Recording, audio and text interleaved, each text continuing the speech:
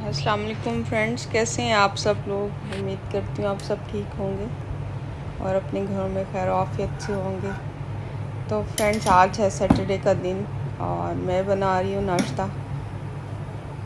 और आज हम लोग सब घर हैं, छुट्टी है। अदनान की भी छुट्टी है, बच्चों की भी छुट्टी है और मेरी तो ऐसी छुट्टियाँ चल रही हैं, जॉब ख़त्म हो गई।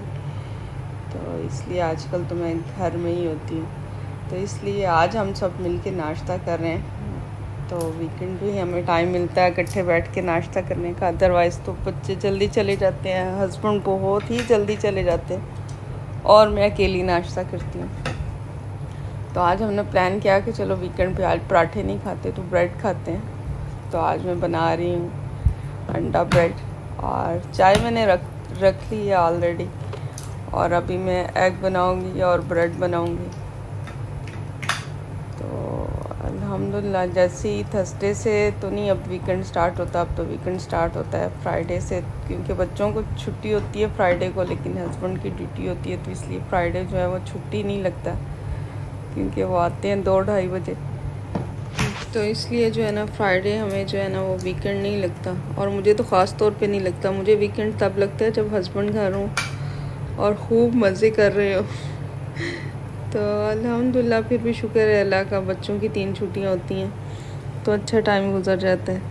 लेकिन आजकल बड़ी बोरियत हो रही है और बस कुछ पाकिस्तान के हालात और वो सारे जल्द से जुलूस देख देख के बस दुआ करते हैं पाकिस्तान के लिए, अल्लाह ताला पाकिस्तान के हालात नॉर्मल कर दे और हमारे मुल्क में कोई अच्छा हुक्मरान जो है वो आ जाए ताकि हमारे लोग जो हैं वो अच्छी ज़िंदगी गुजार सकें। और दिन ब दिन महँगाई इतनी ज़्यादा होती जा रही है। मैं सोच रही थी शायद यूएई में ज़्यादा हो रही है, लेकिन पाकिस्तान में इतनी ज़्यादा महँगाई हो चुकी है। तो लोगों की, वहाँ भी बेचारों की इनकम है नहीं है और एक्सपेंसेस इतने ज़्यादा बढ़ गए हैं। तो बस यही दुआ है, अल्लाह ताला हमारे मुल्क पे अपना रहम करे, करम करे और बेहतरी का मामला पैदा करे, ताकि जो है गरीब तबका लोग भी अपनी ज़िंदगी जो है आसानी से गुजार सकें। दिन ब दिन दिन ब दिन हालात ख़राब ही होते जा रहे हैं और यहाँ पे भी यही हाल है। मैं सोच रही थी जो मेरी ग्रोसरी पहले जो है वो पंद्रह, सोलह सौ में हो जाया करती थी, अब मेरी दो हज़ार में भी नहीं होती। और समझ नहीं आती कि, और समझ नहीं आती कि इंसान किस तरह से मैनेज करे, क्योंकि ख़र्चे तो सारे वही हैं जो पहले हो रहे थे। स्कूल की फीसिस हैं बस की, घर का रेंट बिजली, पानी ग्रोसरी ये तो बेसिक ज़रूरत है, ये तो पूरी करनी ही करनी है। बहरहाल यही दुआ है, अल्लाह ताला से, बस अल्लाह ताला करम करे और रहम रखे, क्योंकि जिनकी फैमिलीज़ जिनके हस्बैंड यहाँ हैं, वो फैमिलीज़ भी पाकिस्तान में नहीं रह सकते। तो इकट्ठे रहना भी ज़रूरी है और जिनकी तो अच्छी सैलरीज हैं, अल्हम्दुलिल्लाह हम लोग तो गुजारा कर रहे हैं। लेकिन जिन लोगों की सैलरीज कम है, उनके लिए तो बहुत मुश्किल है फैमिलीज़ को यहाँ पे रखना और मैनेज करना। बस देखिए मेरे एग बन चुके हैं और मैंने ब्रेड रख दी है। बस नाश्ता ऐसे ही रेडी होता है और उसके बाद मैं सफ़ाई करूँगी और घर के काम करने एक दो और उसके बाद ग्रोसरी के लिए निकलेंगे क्योंकि कल बिल्कुल भी टाइम नहीं मिलेगा। क्योंकि संडे को तो बहुत मुश्किल है बच्चों के बाकी काम के साथ साथ जो है ना ग्रोसरी करना बहुत मुश्किल है, संभालना नहीं जाता। तो इसलिए बस अभी निकले हैं ग्रोसरी करने के लिए और अभी बज चुके हैं तकरीबन डेढ़ का टाइम है दोपहर का। बहुत गर्मी है बाहर। तो अभी मेरी ग्रोसरी आ चुकी है और अब मैं इसको सेट करूँगी और सब सारी चीज़ों को उसकी उसकी जगह पर रखूँगी। और बाहर बहुत ज़्यादा गर्मी थी और यूएई का मौसम बहुत ज़्यादा चेंज हो चुका है। शाम को तो फिर भी अल्हम्दुलिल्लाह बहुत अच्छा होता है कि हवा चल रही होती है, बहुत ज़्यादा ह्यूमिडिटी नहीं होती। लेकिन ये कि ओवरऑल जो है वो वेदर अच्छा खासा चेंज हो चुका है। जो बेचारे लेबर जो हैं, दिन में काम करते हैं बाहर आउटडोर फ़ील्ड में तो उनके लिए तो बहुत मुश्किल है क्योंकि पीक पे जो है ना वो गर्मी होती है बारह एक बजे। बस अल्लाह ताला उन लोगों को हिम्मत दे। तो ये मेरी ग्रोसरी है, मैं मोस्टली ग्रोसरी जो है वो मदीना से करती हूँ। और मदीना में ग्रोसरी की मोस्टली ऑफ़र लगी होती हैं तो फ्राइडे सैटरडे को ही मैं प्रेफर करती हूँ कि इन डेज़ में जो है मैं ऑफ़ में से ही चीज़ें ले लूँ। और मैंने आज ये ब्रेड लिए तो इसकी मैंने डेट चेक नहीं की थी तो मैंने कहा चेक कर लूँ। तो इसलिए अभी बस आस्ते आस्ते सारी चीज़ें समेटूँगी और समेटने के बाद जो है वो बच्चों को रेडी करूँगी। और उसके बाद मैंने बनाना है खाना, और खाना बनाने के बाद इन हम लोग जाएँगे बाहर आउटिंग के लिए, मैंने बताया था। तो इसलिए मैं अब जो है वो हरी वरी में सारे काम करूँगी। तो इसलिए मैंने आज सोचा कि आज अगर ग्रोसरी आ जाएगी तो मैं सेव कर लूँगी तो फिर कल मेरे लिए इतना प्रॉब्लम नहीं होगा। रात को थके हुए आएँगे और सुबह को फिर सारी रूटीन हफ़्ते की सारी चीज़ें दोबारा से सेट करना तो वो मैनेज हो जाएगा। और मैंने हस्बैंड से रिक्वेस्ट की थी कि मेरे लिए जो है वो वाटर मेलन लेके आइएगा। और अब मैं सारी वेजिटेबल को जो है वो वॉश कर लूँगी फ्रूट और वेजिटेबल को, ताकि वॉश करके जो है वो मैं ड्राई जब हो जाएँगे तो फिर दोबारा से फ्रिज के अंदर रखूँगी। क्योंकि अक्सर ये होता है कि बास्केट में पड़े होते हैं फ्रूट और सारी चीज़ें तो अच्छा है कि सब कुछ वॉश करके रखा हो तो फिर आपको टेंशन नहीं होती है। जब आपको यूज़ करना है तो आप फ़ौर फ्रिज से निकालें और यूज़ कर सकते हैं आप लोग। तो अगर वीक इकट्ठी ग्रोसरी कर ली जाए ना तो पूरा हफ़्ता जो है वो सुकून से गुजर जाता है। क्योंकि हस्बैंड घर नहीं होते और वो आते हैं लेट नाइट तो ग्रोसरी पड़ी हुई हो तो कुछ ना कुछ बना लेते हैं, खा लेते हैं। तो इसलिए फ़र्स्ट यही होता है कि फ्राइडे सैटरडे में से किसी एक दिन जो है वो ग्रोसरी करके पूरे हफ़्ते के लिए जो है वो घर की सारी चीज़ें आ जाएँ, ताकि मिड वीक में मुझे प्रॉब्लम ना हो। फिर बच्चों के साथ जो है वो जाना और चीज़ें ख़रीदना बहुत मुश्किल लगता है। तो वैसे भी अगर आप वीकली जो है वो अगर अपनी ग्रोसरी का बजट मैनेज करना चाहें तो मेरा ख्याल है कि वो ज़्यादा अच्छे से मैनेज कर सकते हैं। क्योंकि चावल, आटा, चीनी और ऑयल ये तो आप मंथली भी ले सकते हैं, लेकिन जो वीक में आपको ख़रीदना पड़ता है, आपके फ्रूट हो गए, आपकी बाकी सब्ज़ी वगैरह हो गई, सबसे मेन जो है आपका बजट जाता है, वो फ्रूट्स पे जाता है।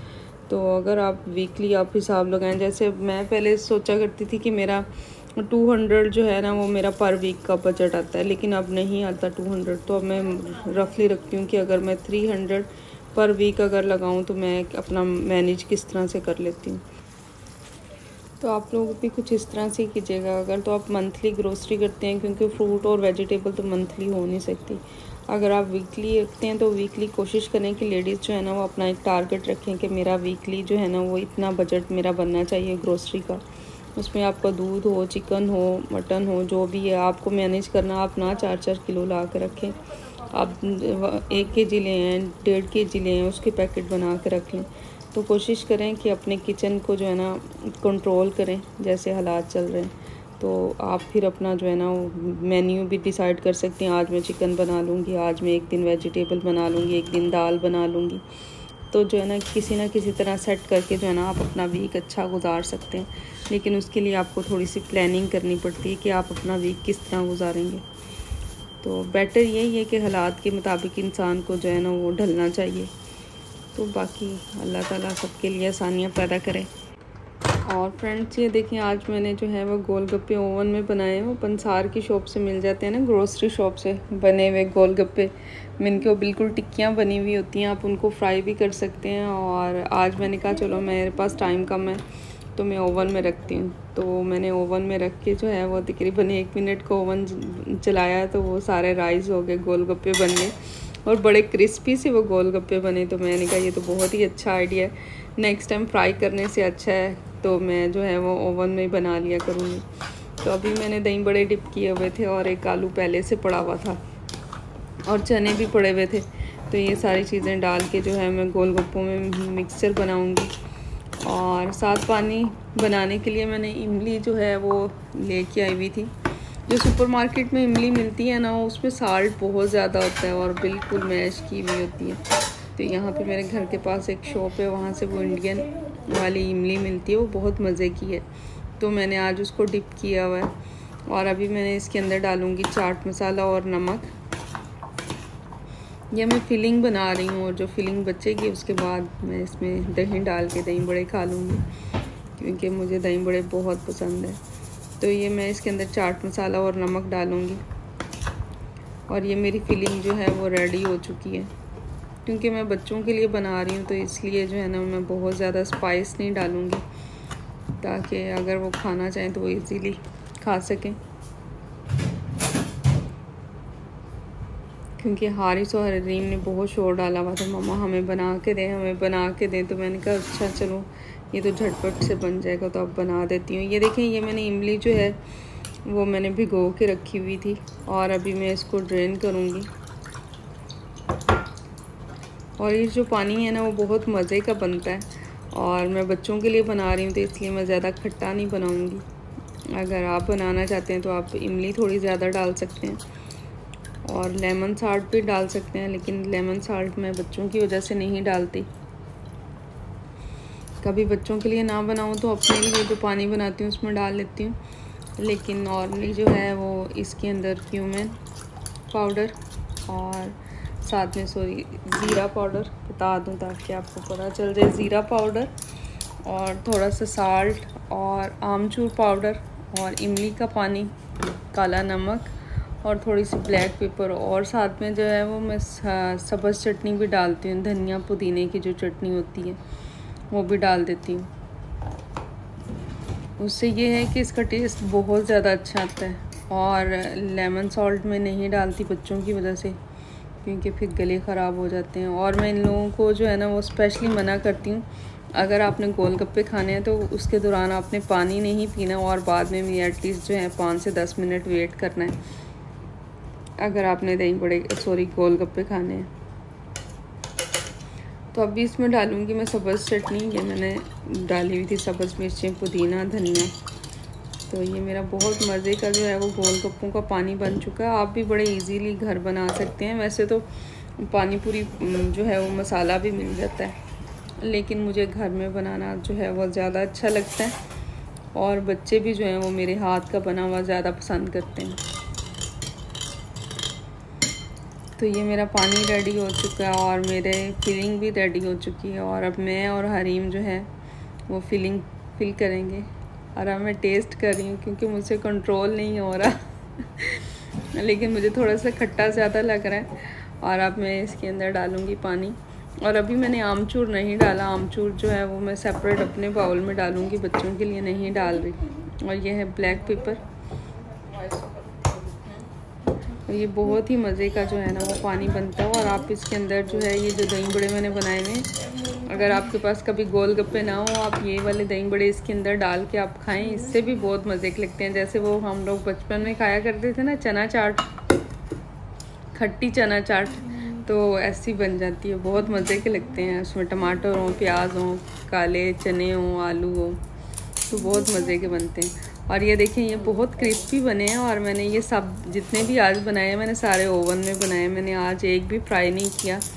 तो ये बहुत अच्छा आइडिया है। कभी आपका दिल करे गोलगप्पे खाने को तो आप ग्रोसरी शॉप से ये लेके आएँ और इनको फ्राई भी करें और चाहे ओवन कर लें। तो आप इनको बहुत इजीली जो है वो घर में बच्चों को बना के दे सकते हैं। तो आज हमने खूब अपना वीकेंड जो है वो इन्जॉय किया और लेकिन अभी भी मेरी कुकिंग रहती है और मैं कुकिंग करके इसलिए बाहर जाना चाहती हूँ कि फिर रात को थक के आएँगे और सुबह नाश्ता भी करना है और फिर कल का दिन ज़्यादा बिज़ी रहेगा। तो इसलिए कल मैं ना भी कुकिंग करूँगी तो मेरा चल जाएगा। तो इसलिए जो है ना मैं चाह रही हूँ कि मैं आज थोड़ी सी मेहनत ज़्यादा कर लूँ और अपनी कुकिंग वगैरह जो है ना ज़्यादा काम आज ख़त्म कर लूँ, ताकि कल जो है वो मेरे पे इतना ज़्यादा बर्डन हो और मैं मोस्टली जो है ना सॉरी संडे को मैं बहुत ज़्यादा पैनिक हो जाती हूँ। और गुस्सा आता है, गुस्सा इसलिए आता है कि काम का लोड बहुत ज़्यादा होता है और आपके पास टाइम नहीं होता। तो इसलिए भी। तो ये मैं बना रही हूँ फिलिंग कर रही हूँ और ये मैं अपने लिए और अपने लिए तो नहीं डालूँगी कैचअप लेकिन हरीम कैचअप डालती है, या तो इमली की चटनी हो, वो खट्टी मीठी वाली, वो अभी पड़ी नहीं हुई, मैं पहले बना के रखती हूँ, लेकिन अभी रमज़ान के बाद से मैंने दोबारा नहीं बनाई। तो हरीम को मैं कहती हूँ कि आप केचप डाल के खा लेना, मीठी चटनी के बजाय तो हरीम जो है वो कैचअप डाल के खाएगी। और बाकी मैं और हारिस तो मीठा नहीं खाता, हारिस को गोल गप्पे बहुत पसंद है। और आज भी उसी की फरमाइश पे गोल गप्पे बना रही हूँ मैं। तो ये था आज हमारा व्लॉग तो इन आप लोगों को पसंद आया होगा। तो अगर अभी तक आप लोगों ने मेरा चैनल सब्सक्राइब नहीं किया तो प्लीज़ चैनल को सब्सक्राइब कीजिएगा। और अगर वीडियो अच्छी लगी तो कमेंट ज़रूर कीजिएगा। और दुआओं में याद रखिएगा। तो इन मिलते हैं एक नई वीडियो के साथ और एक नए व्लॉग के साथ। अल्लाह हाफिज़।